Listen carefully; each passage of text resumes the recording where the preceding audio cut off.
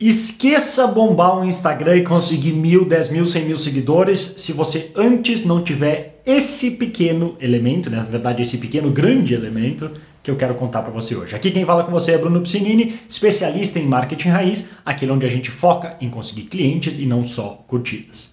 Direto eu vejo pessoas que, ah, seguidores, curtidas, como é que eu consigo mais? Como é que eu faço para bombar meu Instagram?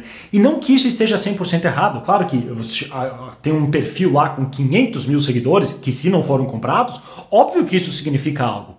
Óbvio que ele tem um certo poder de persuasão e alcance. Mas na boa, eu tenho, eu sei, não é que eu, não é que eu chuto, eu sei que eu consigo vender e ganhar muito mais dinheiro, se a gente for falar de, assim, do ponto de vista de um negócio, que muitas pessoas que têm muito mais seguidores e curtidas e visualizações que eu tenho. Por quê? Porque o meu negócio é estruturado de uma maneira diferente. De novo, o que eu acabei de falar aqui na entrada do vídeo, eu estou focado em conseguir clientes e não só curtidas. Seguidores e curtidas vêm como um segundo produto do trabalho que eu faço.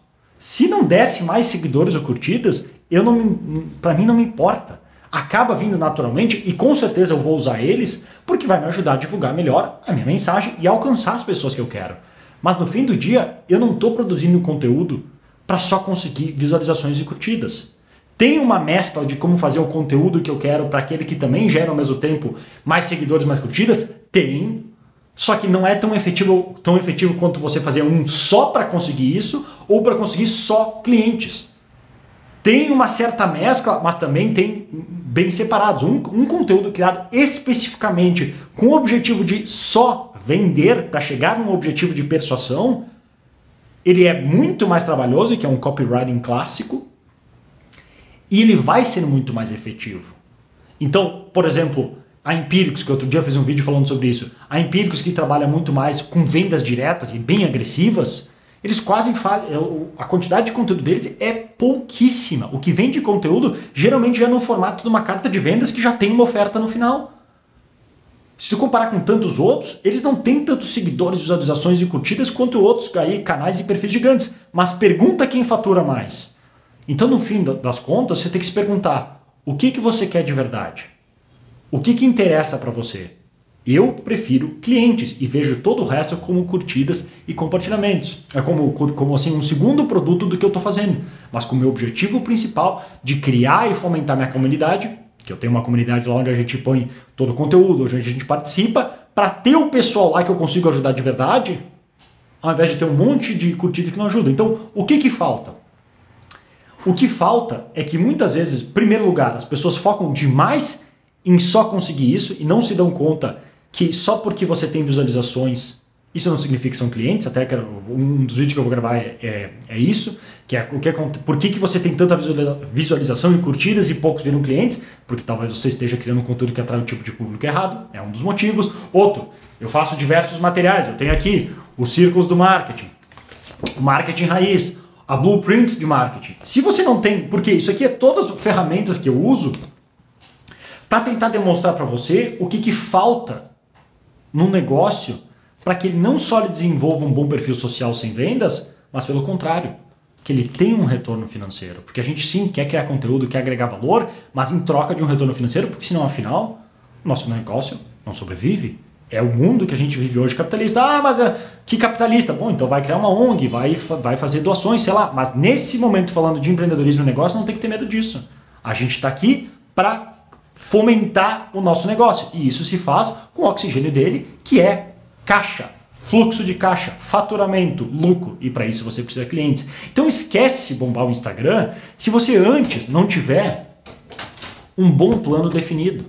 Se você não tiver aqui o que eu ensino na Blueprint Marketing, se você ainda não viu, clica depois no link que está aqui abaixo é, ou visita brunopiscinini.com que vai ter uma apresentação que eu falo mais sobre isso. Você tem que ter um plano bem claro para que o público, que é o primeiro passo e maior, como você pode ver aqui, para que o público que você alcance e atinge não seja só um que gosta de curtir coisas, mas sim que compra, que contrata, que vai atrás de você, que indica outras pessoas. E aí você pode descobrir que esse público talvez não é tão engajado e clique, curta e visualize tanto, mas eles viram clientes. É uma questão de prioridades. Então você precisa disso E uma combinação do que eu sempre falo, a questão do marketing raiz. Aqui eu tenho, eu tenho impresso, tanto que eu usei para aula e como eu tenho pra, pra, para me lembrar também, dos 10 fundamentos do marketing raiz. De novo, não adianta o vídeo mais bonito da história se você não tem, em primeiro lugar, bem definido quem é você, quem é seu negócio, por que, que o seu produto ou seu serviço é diferente. Tudo isso tem que vir num conjunto holístico antes de sequer ir para as redes sociais. Então esquece bombar o Instagram Primeiro, porque não é o melhor objetivo para você se ter do ponto de vista do negócio. E segundo, porque se você for só para isso, você vai começar a procurar já as respostas que sim, você vai achar. Cria um post assim, um post assim faz sorteio, faz não sei o que, vai gerar um monte de engajamento. Mas daí você vai passar um ano inteiro, chegar lá no final e se perguntar: aumentou o meu faturamento? A minha empresa melhorou por causa disso ou agora estou só com um monte de seguidores que no final não compram nada do que eu ofereço? Então tem que ter muito cuidado com isso para não botar os objetivos errados se o seu objetivo é rentabilizar a sua profissão, o seu negócio, o que você vende, enfim, ter uma vida boa através do que você faz. Que sim, eu também adoro o que eu faço, mas eu consigo fazer porque eu tenho um retorno financeiro. Tem outras coisas que eu faço sem precisar cobrar nada, mas aí é outra história. No ponto de vista de um negócio, não tem que ter medo. Às vezes, às vezes as pessoas têm travas assim, porque dinheiro é um tema tabu. Mas enfim, essa é a mensagem que eu queria passar para você hoje. E se você quiser uma ajuda para justamente ter esses planos no lugar antes de sequer sair pensando em qual rede social atuar, então de novo, clica no link que está aqui abaixo ou visita brunopsini.com que lá tem uma apresentação com alguns segredos para ajudar você justamente a ter o marketing raiz bem definido para sua carreira como profissional, para o seu negócio como empreendedor ou como expert, se você vende treinamentos e cursos e tantos outros, beleza? Só clicar no link que está aqui abaixo que lá você vai ver.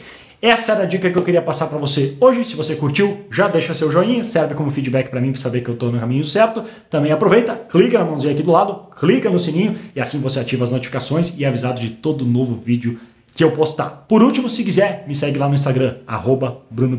Qualquer coisa, só deixar o um comentário aqui abaixo que depois eu dou uma olhada, beleza? Vou ficando por aqui, grande abraço e até mais.